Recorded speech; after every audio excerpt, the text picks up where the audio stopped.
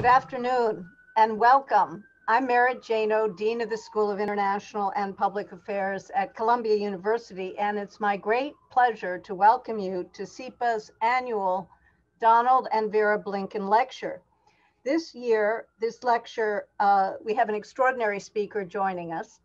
But every year, the lecture has brought some amazing people to our campus, and we're very grateful the lecture is organized by the Center on Global Economic Governance. And uh, throughout these years, we have had speakers such as Secretary General of NATO, Jens Stoltenberg. And we are honored today to continue this extraordinary tradition by welcoming the Honorable Jane Harman to speak with us today.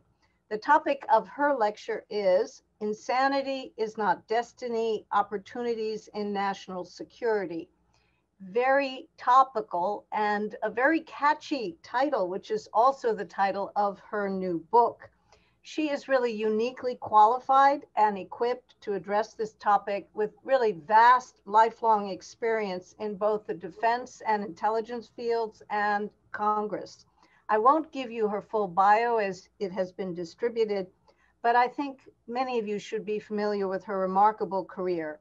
She served for nine terms in Congress when she was on all of the major security committees, armed services, defense, homeland security. She now co-chairs the Homeland Security Experts Group with former Homeland Security Secretary Michael Chertoff, and she has served and serves on numerous corporate boards and think tanks, including the Aspen Institute.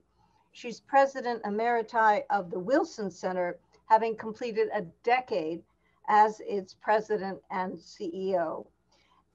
I'm looking forward to reading your book. Thank you so much, Jane, for being with us. We're really excited uh, to have you. Um, as this world gets more dangerous, the threats confront us from many different sources, increasing scale and complexity, and a very changing geopolitical context. Thinking through our national security is uh, never more crucial. I'd like to expend a special thanks also to Ambassador Donald and Vera Blinken for their generosity in endowing this lecture and their support of SIPA, uh, their interest in SIPA and the Center on Global Economic Governance. And with that, it's my pleasure to hand the mic, so to speak, over to Jan Svejnar, our James Shotwell Professor of Global Political Economy, our Director of the Center on Global Economic Governance, an eminent economist and scholar who will lead us forward. Thank you very much, Jan. Thank you very much, Merit, and thank you all for joining us today. We are definitely most pleased to have today in the special program uh, the very esteemed, uh, distinguished fellow and past president uh, of the Wilson Center, Representative Jane Harman, her vast experience will give us a unique point of view on the intricacies of the defense and intelligence community and the world around us. Um, uh, in her address, she will discuss the past and future um, of American national security. She will outline the opportunities as well as the challenges to making progress in these uh, complex and difficult issues. Just a few words about the Center on Global Economic Governance. Uh, we have been in existence for 10 years. We're fostering a more complete and nuanced understanding of today's complex world, the many developing trends, the global political, uh, social, and economic uh, developments. And we are sponsoring and trying to pursue more in-depth research and actionally actionable policy proposals that will enhance the understanding of what's going on in the world today. And so I would like to thank uh, Dean Janow for uh, spearheading the uh, center within SIPA. I would, of course, like to thank first and foremost to Ambassador Don Blinken and Mrs. Vera Blinken for supporting this lecture, which has indeed been uh, very, very important for a number of years now. Ambassador Blinken, as you know, has made a lasting impact in fields ranging from public service as ambassador to Hungary from 1994 to 1998, his contribution in investment banking to education, arts patronage uh, throughout his uh, long, estimable career. He was awarded a number of awards, including the US Department of Defense Award for Distinguished Public Service, as well as being the first UN ambassador to receive the Republic of Hungary's highest civilian honor. Uh, together with him, Vera Blinken has served on the executive committee of the International Rescue Committee. And in 2002, for services to the Hungarian people, she was awarded the Middle Cross of the Republic of Hungary. Um, now, as uh, Merit Janow mentioned, the Blinken lecture was delivered by a number of people, including the NATO Secretary General Jens Stoltenberg. Uh, among the past speakers, we had uh, Pier Carlo Padoan, the Italian Minister of the Economy and Finance, Werner Hoyer, President of the European Investment Bank, the largest investment bank in the world, Ambassador Daniel Fried. We had Antonio Tajani, who was the President of the European Parliament at the time, and Wolfgang Schäuble, the then German Minister of Finance. So we're very honored to have um, Jane Harman today with us, uh, joining this roster of distinguished speakers. And uh, Jane, I would like to invite you to speak. Thank you very much. The floor is yours. Thank you very much. Uh, I appreciate that, Jan and Merit. Thank you both for that introduction. I wish we were meeting actually. I was thinking about that since I'm extremely fond of the Blinkens, more in a moment. Uh, and I would love to see them. Maybe that will happen a few days after this. Uh, but um, this Zoom life is what we have, and I am extremely honored uh, to be asked to give this lecture this year. Um, I have fond memories of meeting Ambassador Donald Blinken in our embassy in Budapest.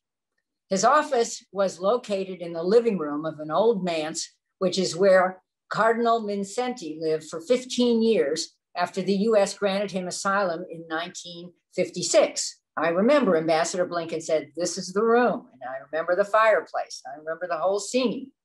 Uh, throughout his estimable career, as Jan just said, Ambassador Blinken has made a lasting impact in fields ranging from public service to investment banking to education and the arts.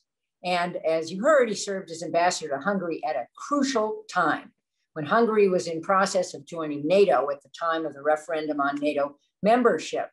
Um, he played a defining role in setting up the logistical base for IFOR, uh, the implementation force, and later for SFOR, uh, the stabilization force in Bosnia and Herzegovina, uh, peacekeeping operations in the Balkans. Uh, to remind everyone, um, in the 90s, I was in Congress. Uh, we weren't paying enough attention, I don't think, to the threats against us, but there certainly was this huge problem uh, in Bosnia Herzegovina, and uh, the US played a big role, and uh, the Blinkens were uh, in the center uh, of that. Uh, for his accomplishments, as Jan said, and his services as ambassador, among other things, he was rewarded the first Republic of Hungary's highest civilian honor. it's a big deal. And Vera Blinken, too, born in Budapest, in part thanks to her courageous parents, miraculously survived the Holocaust and World War II and in the early 1950s, she and her mother managed to flee communist Hungary and found a welcoming home in New York. The story appeals to me since my own father grew up in uh, Nazi Germany, was in the last class where Jews could graduate, managed to flee to New York and began a successful career as a medical doctor there. I was born in New York. We moved to California. And he used to say, uh, growing up behind this little store in Köln, Germany, he dreamed of escaping to France, but he never imagined uh, getting to the United States and having two children, one of whom became a successful medical doctor, my brother, and the other of whom served in the United States Congress. And I can never tell that story without choking up.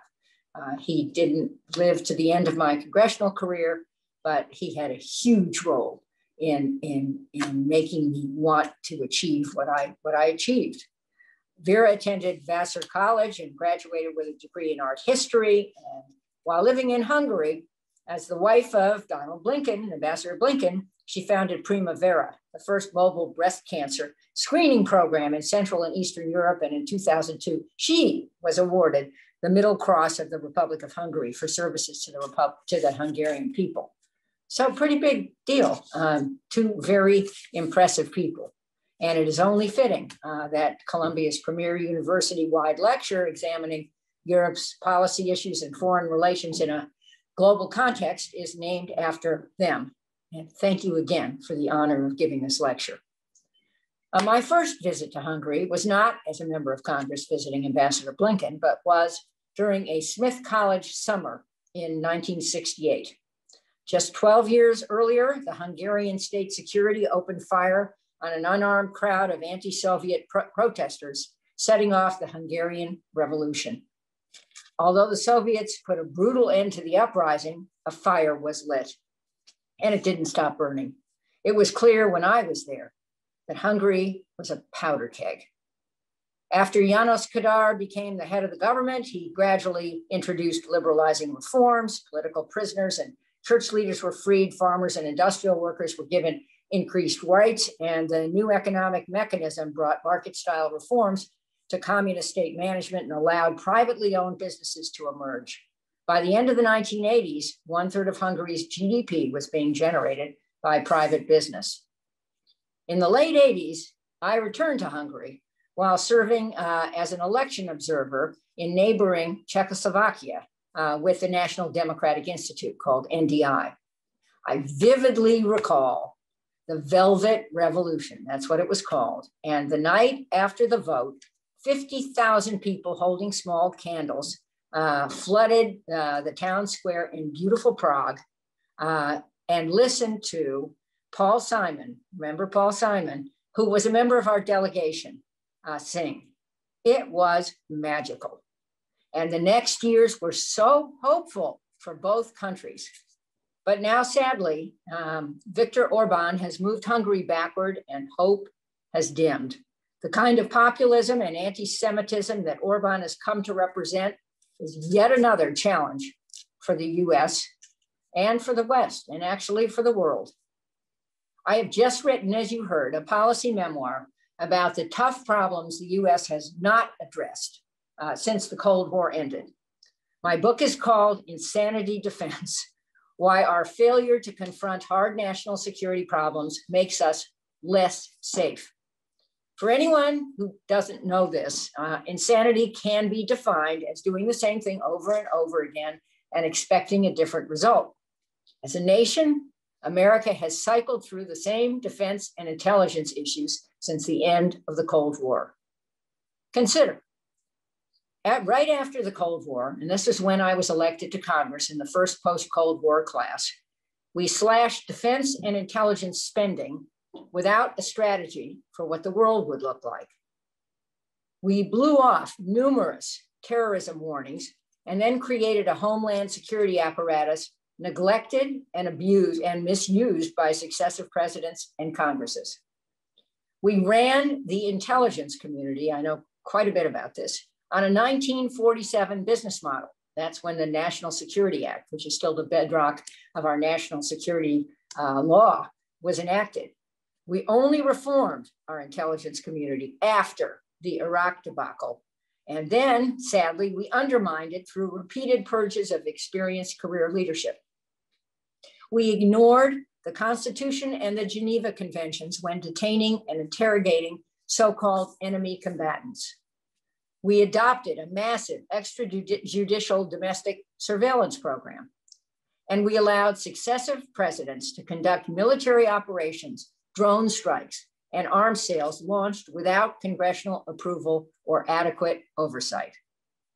I was there throughout much of this period as witness, legislator, exhorter, enabler, dissident, and eventually outside advisor and commentator.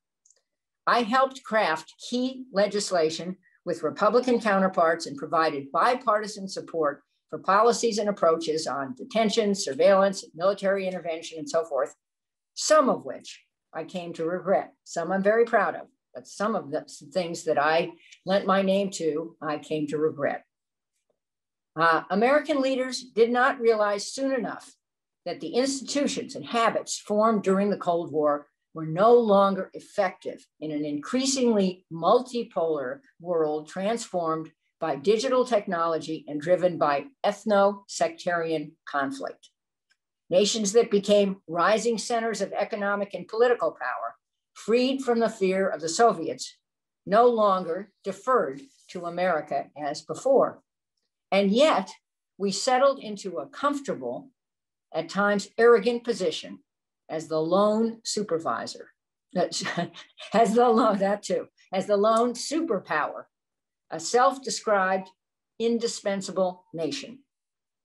At the same time, our governing institutions, which had stayed resilient, if imperfect, through multiple crises, began their own unraveling. Our post Cold War miscalculations and vulnerabilities were exposed dramatically on September 11, 2001, and some have not been fundamentally addressed in the years since. So now we're in the fourth decade after the Cold War, and we still need a strategy. There's good news. And the good news is that our newly minted Secretary of State, Tony Blinken, name may sound familiar to some of you, is advancing a concept to take uh, what I say, uh, to take the foreign out of foreign policy, to make it relevant to average Americans by asking what we can do around the world to make us stronger here at home and what we can do domestically to make us stronger abroad. This approach has reframed foreign policy for the modern era, making it clear to Americans whose firsthand exposure to the coronavirus, domestic terrorism, and the ravages of climate change show why these issues matter to them.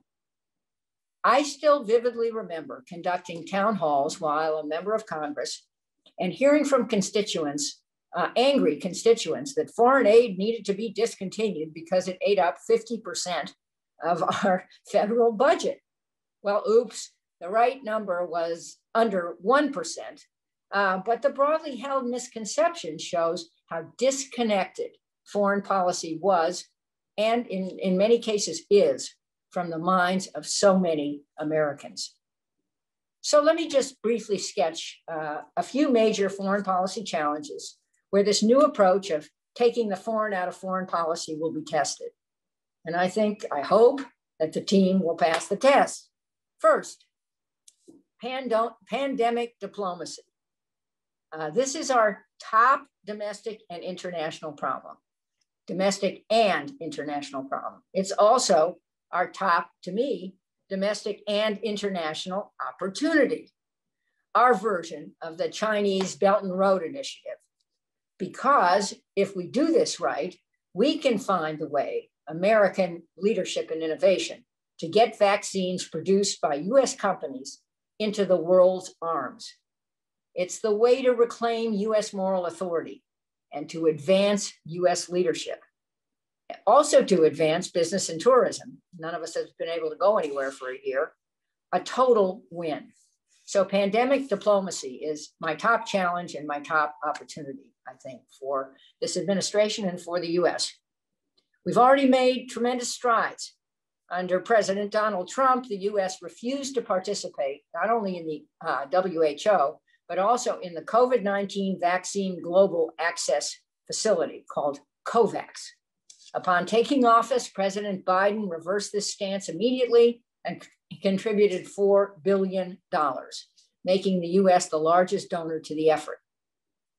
But we've got catching up to do. So far, the US has been somewhat upstaged by Russia and China, who have aggressively marketed and distributed their vaccines to foreign countries largely to advance their foreign policy goals. While Russia is using the vaccine to bolster its image and investment prospects and to drive a wedge between EU countries, China is donating doses to gain leverage in territorial disputes and further expand its influence. Both have even made efforts to undercut the US right in our own backyard by supplying vaccines to Latin America. However, and this is something I I, I profoundly believe we can't fall into the trap of trying to outplay our competitors at their own game, handing out vaccines to specific countries solely based on their geostrategic uh, importance. We need to play our game and win at our game. And President Biden must pursue the same approach abroad that he has proclaimed at home, one of all in unity uh, around the vaccine and the science that created it. Let's just marvel at the science. Moderna was just a small biotech firm in Cambridge, Massachusetts that nobody had ever heard of until Operation Warp Speed a Trump administration uh, initiative for which they deserve a lot of credit, infused it uh, with a large amount of money. Now it's one of three vaccine manufacturers in the US and it has the that has produced the arsenal to fight the virus and it has the the moderna version has the same effectiveness as the pfizer vaccine. And it's really a testament to us uh, innovation. A second issue that i think is on my, my top list is climate change. Climate change is an existential threat to humanity. In many regions global warming has caused an increase of 1.5 degrees Celsius above pre industrial levels, and more than one fifth of all humans currently live in places with this increase. Doesn't sound like much, but when you understand its effects on uh, fish and uh, climate and, and uh, the, the weather patterns, it, it is a, a, devastating increase. July drought, uh, drought levels have hit my home state of California in April and so there is absolutely no doubt there will be just another catastrophic uh, fire season, could start anytime. Worse, climate related risks are found to be generally higher at lower altitudes and for disadvantaged people and communities. This should be obvious in terms of where disadvantaged people and communities live. So it's a double whammy access to uh, the, the uh, vaccine and then living in places that are going to be hard hit by climate. This is bringing foreign policy home, sadly. The average carbon footprint for a person in the US is 16 tons, one of the highest rates in the world. Globally, the average is closer to four tons. As the second largest contributors to and beneficiaries of global carbon emissions, we need to own up to the problem. Uh, the appointment of John Kerry as the US uh, Special Presidential Envoy for Climate is inspiring. And I read that he's headed to China soon. Uh, the US has much to contribute. We need to scale up investments in clean, green infrastructure globally, in addition to encouraging leadership from the finance and investment community in solar, wind, and cutting edge technologies, such as electric vehicles. I happen to own one. I hope you do too. Uh, mobilizing climate action is necessary if we ever want to bend the emissions curve. And we desperately need to do that. Third issue China. In regard to China, we must confront, cooperate, and compete at the same time. In other words, we need to play a game of three dimensional chess. Again, we've made a good start with uh, Secretary Blinken's trips to Asia and then to Alaska, where our delegation met with the Chinese. Uh, there was a lot of coverage uh, uh, uh about uh, the Chinese reaction in public to that meeting in Alaska. But rumor has it that the private meeting was very friendly.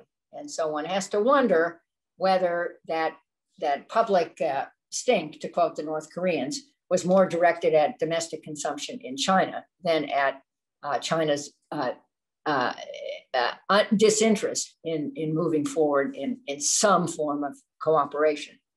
Speaking of stink, uh, one of the other things that trip did was resume US military operations with South Korea.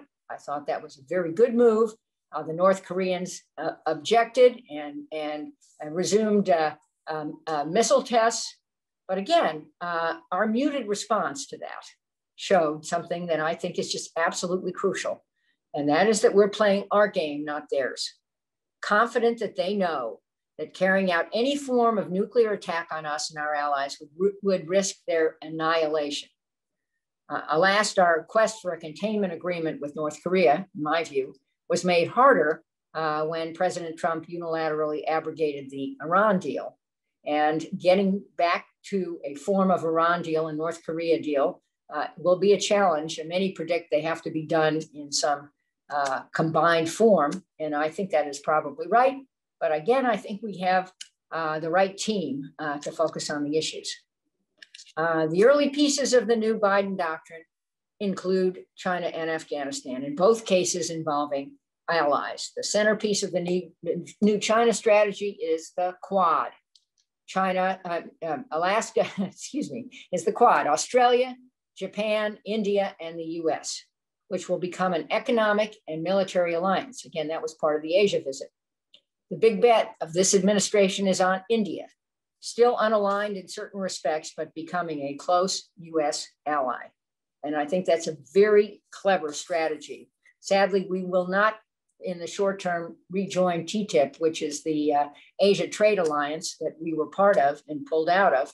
Uh, we won't join it because we don't have pro trade majorities uh, in either party, in either House of Congress. Big loss as far as I'm concerned. I was proudly a pro trade Democrat. Um, but the Quad hopefully will become a, a, a, variation on what we could have achieved uh, under, under, uh, uh, under TTP. Uh, fourth, and, and let me, I'm going to close on this um, getting Congress back in the game as a serious foreign policy partner, a role it played uh, for much of the 20th century, will be a key to restoring US leadership. When Congress originally passed the 2001 authorization for use of military force called the AUMF, in response to the September 11 attacks, it was intended and I know this because I voted for it, as did every member of Congress except one. It was intended to authorize military action in Afghanistan against those who attacked us. Seemed the right thing to do. I still think it was the right thing to do. But since then, it's become a blank check for military action used to justify 41 operations in 19 countries, including against groups like ISIS, which didn't even exist on 9 11. No doubt President Biden agrees it should be updated, but that duty falls to Congress, which remains uh, full of toxic political division. If Congress could abandon its threadbare politics and bring both sides of the aisle together to get things like treaties passed uh, by a two thirds vote or a 60 vote margin, uh, that's what the filibuster requires, it would be much easier to persuade our allies to trust us again knowing that the next president isn't going to pull out of commitments on a win. Uh, having Congress on board means we would carry a much bigger stick. This is something Joe Biden knows to his bones since he spent so many decades uh, in the foreign policy arena in Congress and has friends in both parties in Congress and cut so many of the bipartisan deals personally. Uh, but again, it's a mixed bag uh, Congress has proved intransigent in some ways, but it also showed thought leadership on long term challenges and opportunities in the recent past when it created, uh, get this, a national quantum initiative to ensure that the United States maintains its leadership advantage in quantum information science and its technology applications. The program is designed to accelerate research and development for America's economic and national security, and for those who are not familiar, quantum science could break cryptography, design novel chemicals and materials, and image individual molecules. Uh, this is a cutting edge scientific technology, and on a bipartisan basis, uh, Congress is embracing it. Other nations are paying attention. China carried out a su successful demonstration of a quantum satellite uh, four years ago, but because Congress acted when it did, the US has a chance to cement its lead in research and development in this revolutionary technology. As we plan for the future and try to learn from past mistakes, it is critical to understand that our actions and responses well into the 21st century must be nuanced and won't fit in neat boxes that governments are so fond of. I, have, I say often that our politics uh, our, our, our politicians are analog and our problems are digital. Well, yes, they are. And photo ops and press releases are not a foreign policy. It's complicated. President Biden has the most experienced foreign policy uh, team, uh, maybe ever, but certainly since George H.W. Bush. And he is the most experienced foreign policy president since George H.W. Bush, who, with Ronald Reagan, uh, ended the Cold War. Uh, that may explain in part why we have gone three decades without the strategy that we need. What Biden brings is deep experience with world leaders, decades in Congress, and empathy. We all know this for those hard on their luck. But it will take a village. And universities, think tanks, NGOs are part of that village. So hopefully, those at Columbia who run these uh, wonderful centers uh, are listening to me and uh, thinking about what they can do individually and collectively, in addition to the better moves that our current government is making. So, in conclusion, will we squander another decade? Well, my answer, don't laugh, Blinkens, I'm trying this. Nem me nem fagunk, fagunk. That is, I see Vera laughing. Did I get it? Nem me nem fagunk. That's Hungarian for no, we won't. I hope I got it. Thank you very much. Thank you, thank you very much, Jay. This was a, a real tour de force from uh, identifying the need for a successful strategy. I think that's crucial. And then identifying the main challenges and opportunities and uh, bringing them together, providing the synthesis, which is so much needed here. Um, we'll open it up for discussion. Let me start by asking one question, which kind of goes from or builds on what you're saying in terms of what's needed. And in particular, I think what uh, you've identified very clearly, among other things, is that Russia and China have strategies. They understand power and use power when they see there is no power against them.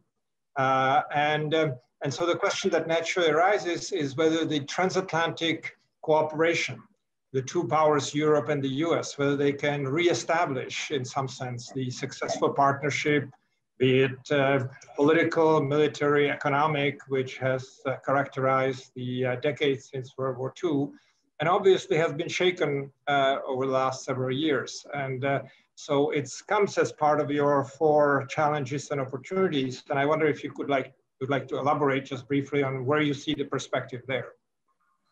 Um, well, I hope it will happen. I mean, I was there at, at many of the Munich Security Conference uh, meetings where uh, things were said about Article 5, the Common Defense Provision uh, of NATO, and um, uh, attitudes were shown, and it was uh, quite chilling. I mean, the US is a charter member of NATO, and I would remind everybody that on 9 11, without being asked, NATO invoked Article 5, the only time it ever has, uh, and was prepared to come to our common defense.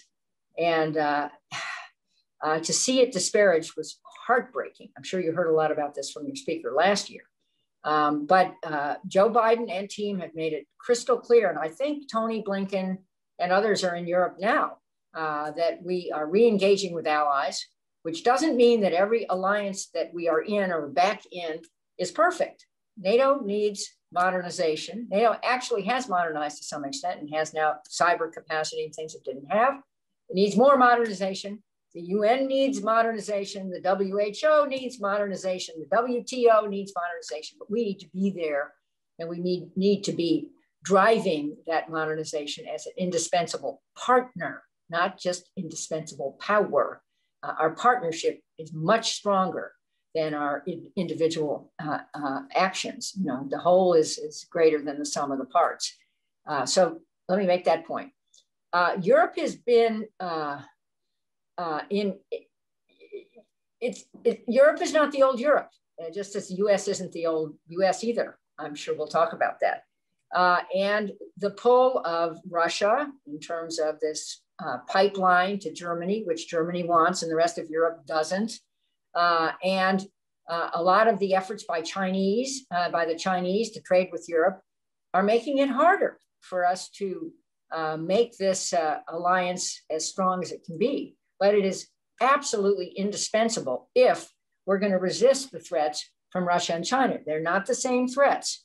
I mean, Russia is a declining power, truly a declining power, but with a very cagey leader uh, who is willing to um, uh, uh, be, uh, as Joe Biden has said, a killer, literally, of people who oppose him and to sow chaos around the world. And he does it very cleverly. He has 40,000 troops at the Ukrainian border at the moment.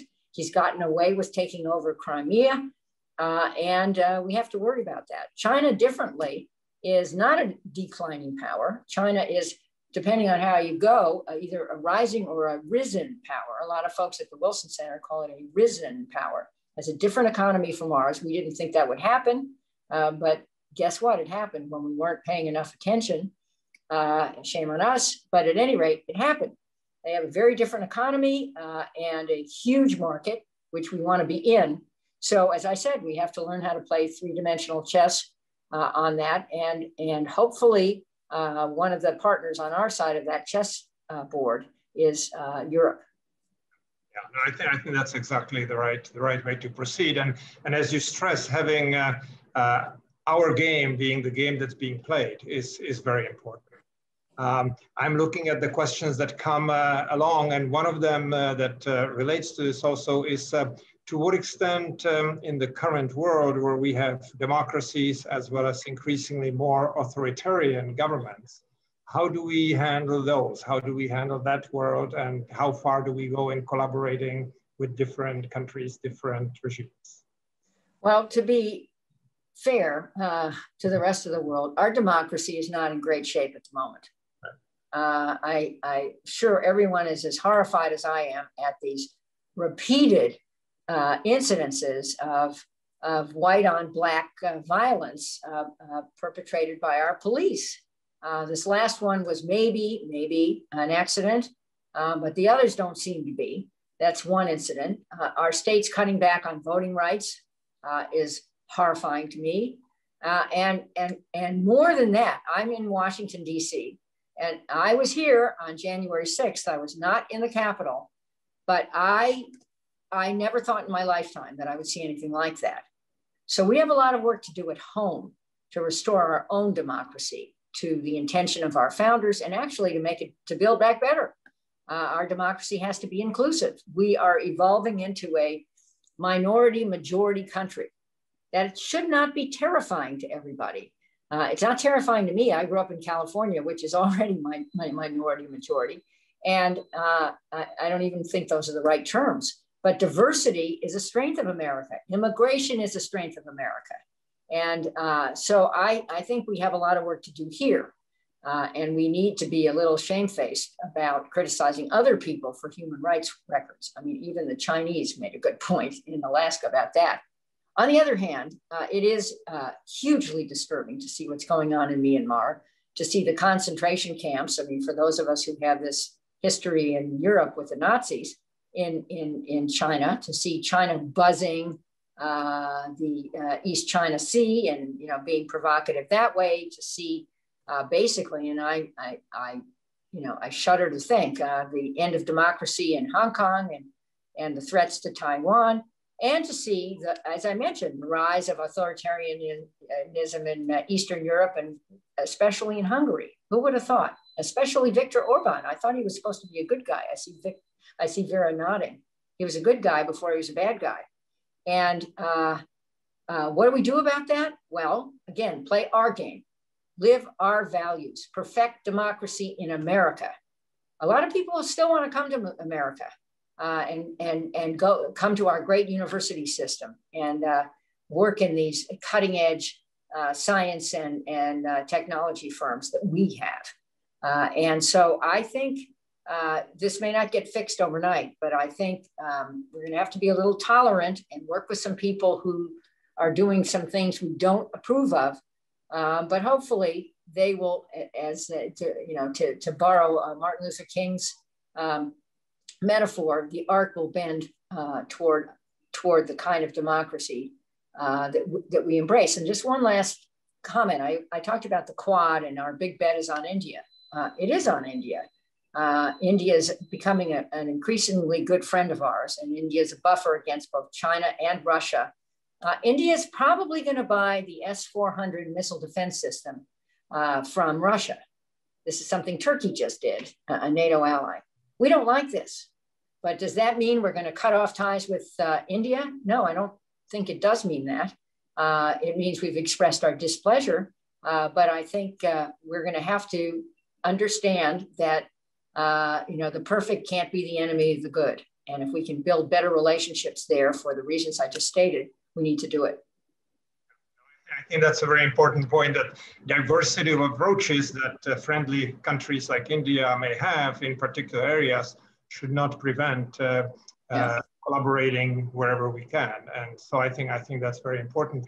Your other point about Viktor Orban is, is very well taken. Here's an example of somebody who actually was sponsored. He had a Soros scholarship, fellowship at the beginning, looked very pro-Western, and then uh, suddenly, you know, turned completely. So that's also a lesson that we have to uh, learn in a way.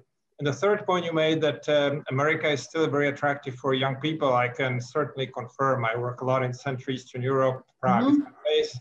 Uh, you mentioned you were there. And oh. uh, yes, America is definitely um, the beacon and uh, we should do whatever we can. And uh, we have lots of students from all over the world, including, you know, Europe, of course, into Columbia. And so in that sense, uh, we definitely are carrying the torch uh, in that direction. Speaking of Columbia, we have um, uh, a couple of questions which I'll bring together. Um, uh, one of them says at Columbia, we have a very strong quantum initiative in physics. Would it be better to have a very broad initiative that includes policy and strategy too? And that relates to a previous question that somebody posed saying, look, uh, we are a country that's uh, obviously a leader in technology and artificial intelligence and everything else.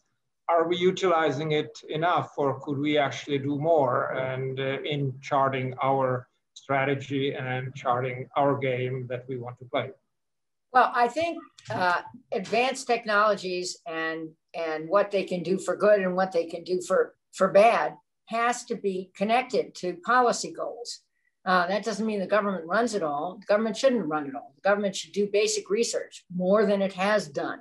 Uh, I told the story of Moderna. I mean, good on Trump. I, I, can't think of a lot of things I applaud about his administration, but Operation Warp Speed and the USMCA, the US Mexico Canada agreement, are two that I think would not have happened without him. Uh, so uh, Moderna was a small company, uh, presumably with very smart people that didn't have the capital uh, to become the player it now is. And in quantum uh, mechanics and in AI and all the rest of this, uh, the lead is in the private sector and the universities. And so I think our goal has to be uh, in some coordinated way, again, not top down, probably horizontally coordinated, to make sure that we have thought through what these technologies can be and how they're used. Um, uh, people may have read that uh, some of the um, professionals at Google uh, refused to do business with DoD fairly recently. Google had an AI contract with DoD. Uh, um, and I, I think that Google withdrew the contract. I'm not positive.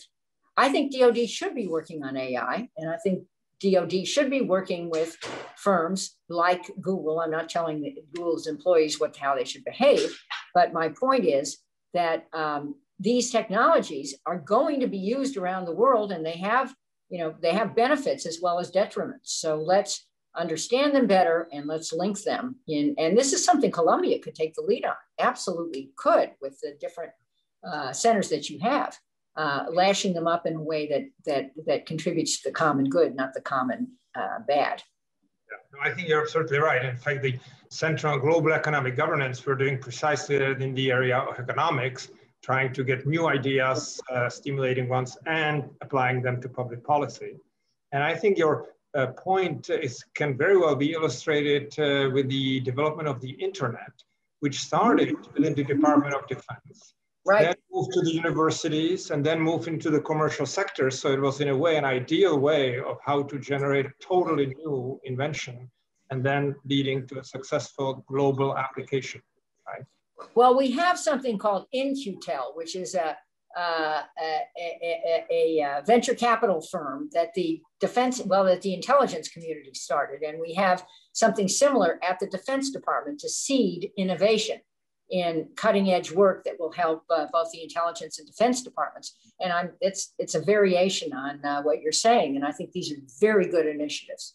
Yeah, that's excellent. Right. And I think that there, again, one can bring uh, the Europeans and Americans together. Yeah. We always do it. Columbia, our faculty, student body, very international.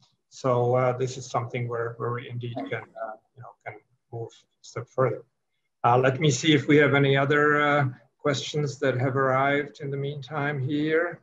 Um, I don't see anything here. Let's see here. Um, here it is. Uh, uh, President Biden is requesting 753 billion for national defense, 1.7% increase over President Donald Trump's military budget last year. Do you see a future in which we spend less on defense budgets and militarization and more on peace building efforts, domestic aid, and non-military foreign aid? I love that question. Whoever asked that, thank you. So um, I represented uh, in Congress an aerospace dependent district in Southern California where we make most of the cutting edge intelligence satellites. Uh, that's how I kind of got into my, my line of work. I had some experience before that as special counsel to the Defense Department, but I learned a lot and I defended all kinds of, of, uh, of defense uh, projects uh, because that was the economic engine for my district. Looking back on it, this is one of the things I admit in the book. Uh, some of these things were absolutely necessary and still are, especially our investment in space. Space drives most of our defense products and we have to not only invest in it, but keep it safe uh, from uh, attacks by other countries. But what is the right amount to spend on defense? The answer is whatever it costs to defend against current and future threats, not to defend against the threats of the Cold War or World War II. And we keep investing in legacy systems uh, because they're built in somebody's district and they represent a lot of jobs. And what we should be doing is weaning away from those jobs. In fact, in my own district, when we cut the defense and, and intelligence uh, procurement budgets, we, we started some, we, we really focused on dual use technologies. So aerospace firms that had made defense products could make civilian products using a lot of the same machinery know-how. Uh, that kept people employed. It also did better things. So with that concept, we ought to think of weaning ourselves away from stuff we don't need. And oh, by the way, the Chinese in particular are building a lot of that stuff, the old stuff. So let's not just say because they built three more submarines, we need three more submarines. No, we don't. We need, we need the right defenses against cyber, against possible AI attacks, against uh, asymmetric attacks, against terrorism. Uh, those are the things, and uh, to give the Defense Department credit, those are the things we need to study and understand. And then the right number for our defense budget, I don't know what that number is, is whatever it costs to fund that. And that is going to be a hard political jump, but that's what we should do. When you asked about soft power, um, uh, Joe Nye, who teaches at Harvard, sorry, it's not Columbia, but he's a lovely man. I'm sure we all know him. I certainly do. Coined the term soft power and hard power and smart power. Uh, but we need to beef up our soft power. We underinvested in it. I say this in my book. After the Cold War, after the uh, after 9/11, uh, we underinvested in it, and we over militarized our response. And the use of drones and the use of uh, and the setting up of prisons and the way we handled people, uh, instead of persuading hearts and minds, built more enemies against us. So it was after a short period of time a very counterproductive strategy and I think now that Tony Blinken, um, with that name that sounds familiar, uh, has has the right idea. He's beefing up the State Department. He's uh, sending envoys to the right places. The appointment of John Kerry, as I said, is inspired. Having a senior guy, a former uh, senior leader of, of, the Senate and a former uh, Secretary of State be our envoy on climate is brilliant. That's soft power. And that's the one issue, may, maybe COVID is the other, where we can build a community of nations around the world, where we have to. I mean, COVID and climate don't know uh, national boundaries. And so if we don't do it as a world, we don't do it. And so I, yes, beef up the State Department, increase that budget, restore those parts that have been decimated and the morale in the Foreign Service, and uh, get young people to want to go there. I mean, one of the sad things is the Wilson Center was all, always full of people who were who came for a year or two um, until they got their clearances and wanted to join the Foreign Service or join some form of, of, uh, of service to the world, non-military service. And uh, a lot of those people came and said, no, we don't want to do that anymore. We'd rather just stay here, which is nice because the Wilson Center got smart people, but it's not nice because we were not recruiting the best and brightest. Yeah, you're right. That's that's very important that the institutions that are complementary indeed play the part that people move up and acquire the skills, experience, and then uh, and continue. Yeah.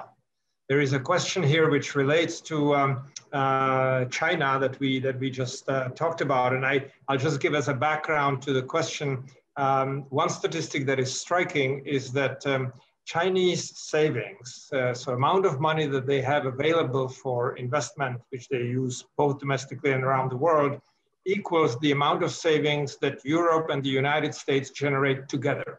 Okay, so the question in that context is how can the US match geostrategic initiatives launched by China, such as the Belt and Road Initiative, when the US does not have the resources that China is ready to deploy for programs like Belt and Road Initiative? Well, again, I don't think, I think we're playing China's game. If we come up with all these statistics, how many submarines, how much savings, how many, pick something, um, uh, China has, and ooh, we got to build that. That's their game, if the statistics are even accurate. What's our game? Our game, it seems to me, is rebuilding alliances, uh, being the, the COVID ambassador to the world, uh, which I think we can do more effectively, and we have much better medicines than they do. And oh, by the way, I didn't even mention the fact that uh, everybody feels that they hid uh, the devastating impact of COVID for too long and let it get, you know, launched in the world.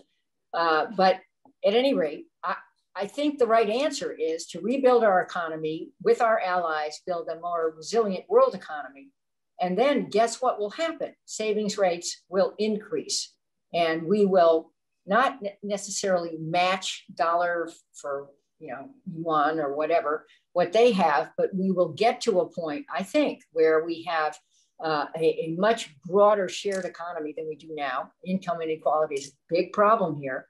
Uh, and we will have, uh, it seems to me, the wealth we will need. It's, it's not just about wealth, it's about resilience, it's about uh, uh, values. It's about um, uh, ability to defend ourselves against misguided uh, attacks. I think we'll, we'll get there faster than China will. That's, that's my bullish view of this. If I may, I, I would add to it one thing which people often underestimate, and that's the uh, human capital, right? That we sort Absolutely of right. physical capital, but human capital is what's important.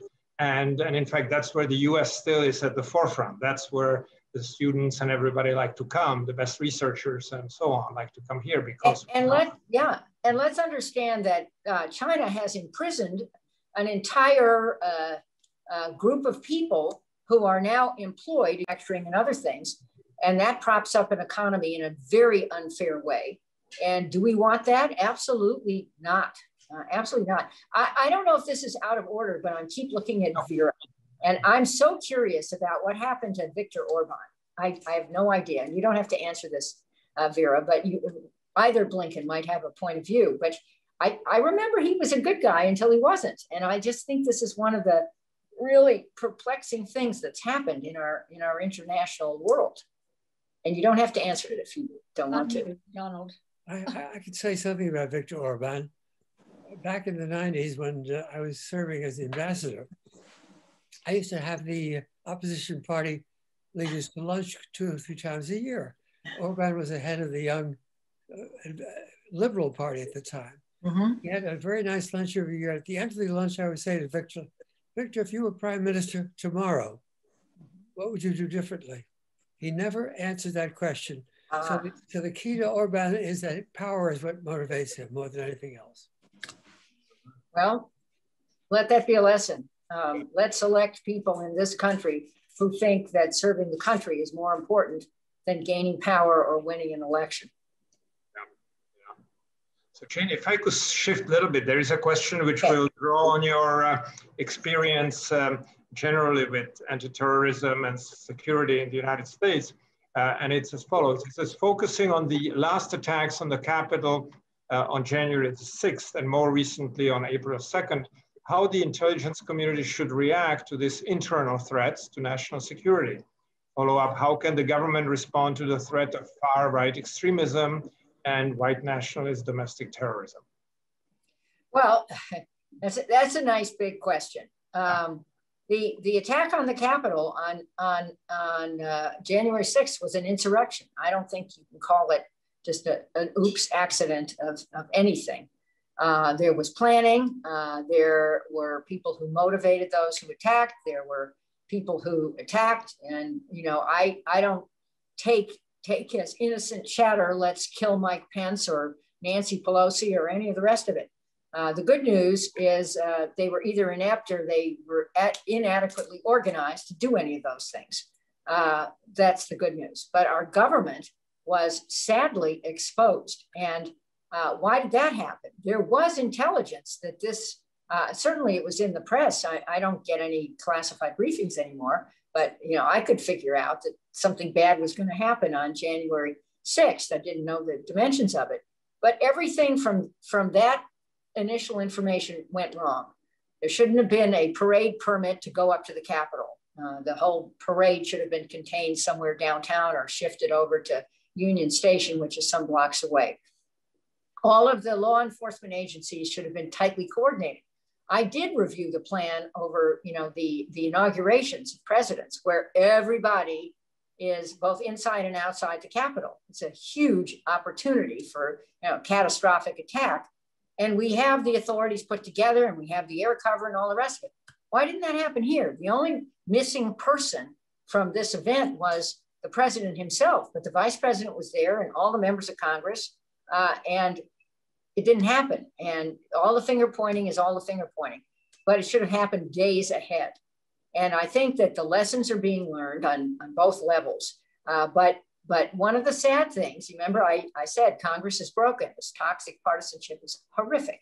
Um, there is a proposal, which is right, to set up a 9 11 style commission. I know a lot about that, uh, both because my predecessor at uh, the Wilson Center, Lee Hamilton, who was a very esteemed member of Congress before that and chaired the uh, House uh, Foreign Affairs Committee, etc., uh, was a co chair of it with a Republican governor, Tom Kean of, uh, of New Jersey.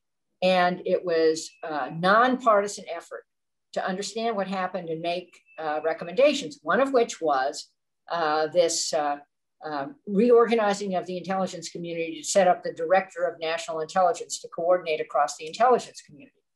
Uh, I was a lead sponsor of that bill, and with Republicans, we enacted that. And having a DNI, hopefully a stronger leadership, is a, is a big improvement.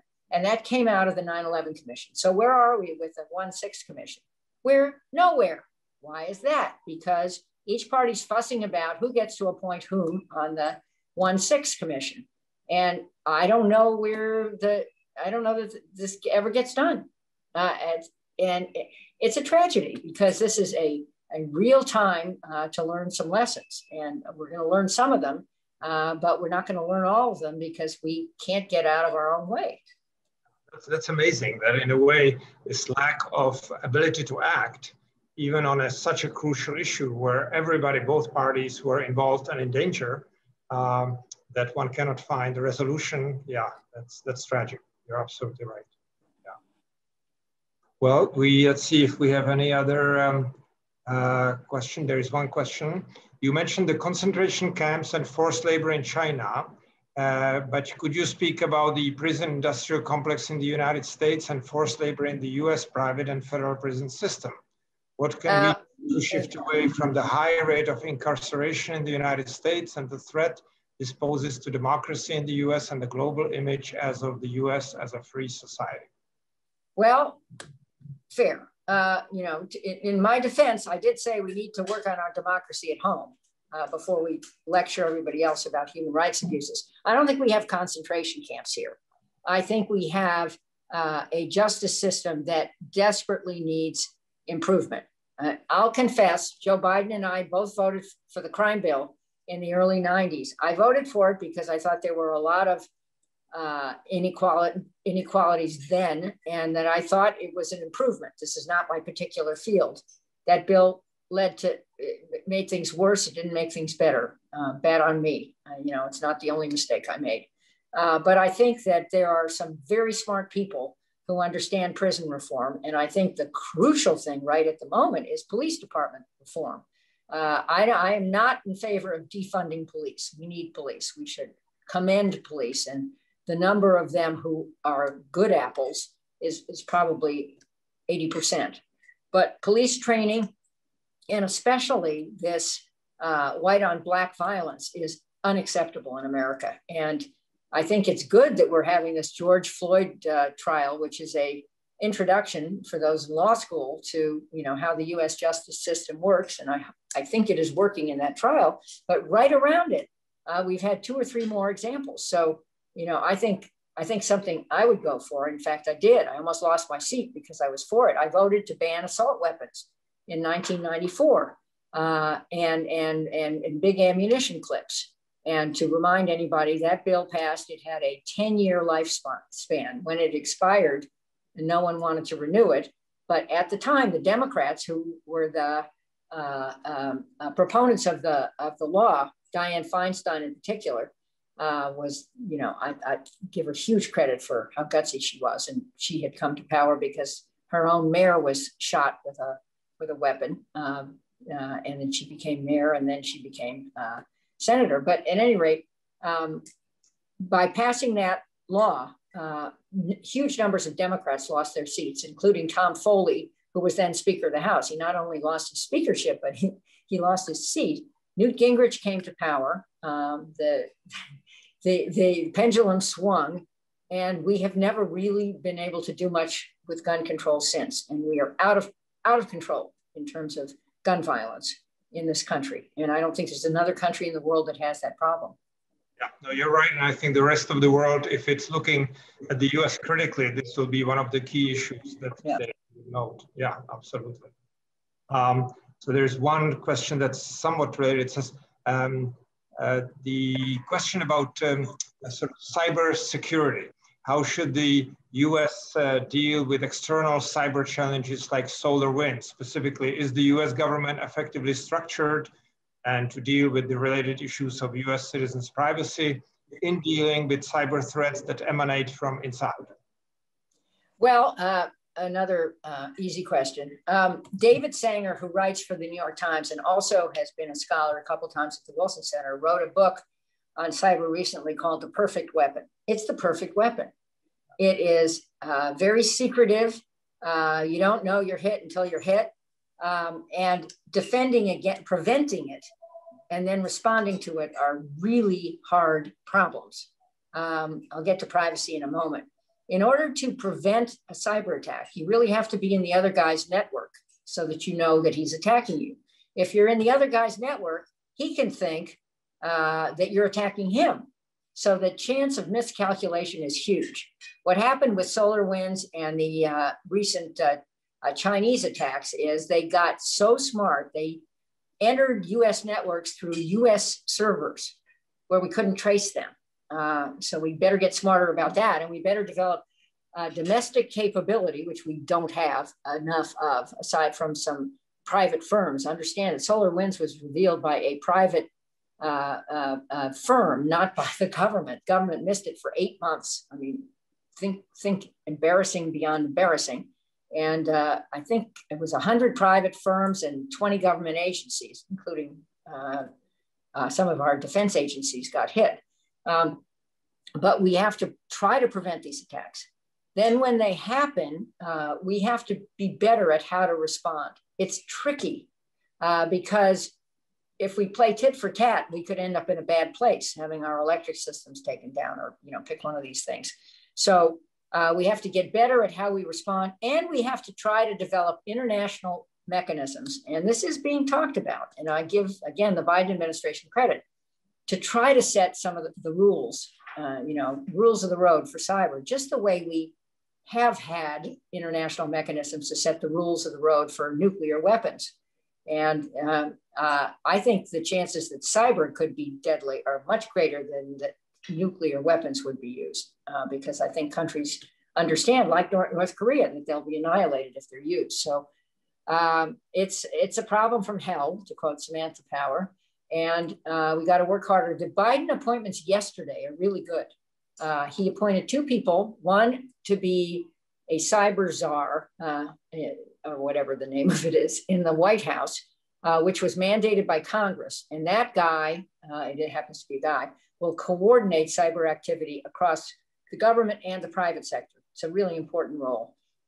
And the other person, a female, is will head the cyber function at the Homeland Security Department, uh, which is our key uh, government defense piece. We also have a cyber command at the Defense Department, but but it's the Homeland Department that, again, forges alliances with the private sector. So uh, we're moving in the right direction, but I, I'm, I, I don't think that uh, getting to success is, is going to happen uh, in, in the very near term. And I think it fits into your uh, conception that we need to be innovative and inventive, not to invest in old, obsolete ways, but go for the new ways. And yeah. having top scientific uh, minds in our country here, you know, definitely should be able to be the first uh, in, in that position. And I, I forgot one thing though, and that is the questioner also asked about privacy. Um, it is my view, and this is all over my book, that uh, privacy and, and security are not a zero sum game. Um, it, the goal is not to have, you know, to have more of one and then less of the other. The goal is to have more of both. And getting this right is really hard. Uh, uh, and so that is why when we created the Director of uh, National Intelligence function, we also created a Privacy and Civil Liberties Board to be in the mix to review policy on the front end to be sure it also protected privacy. And that is why we need any surveillance policies of the United States to fully comply with the Foreign Intelligence Surveillance Act, FISA. And we learned late, including me, and I was a member of Congress, and I was in this so called Gang of Eight, the people who get briefed on our most covert actions. We learned late that what the Bush administration was doing initially, in terms of collecting telephone metadata and all the rest of it, did not comply with FISA. They were using authorities uh, issued by the Justice Department, and that was wrong. And we should never do that again. Very, very, very powerful. Yes.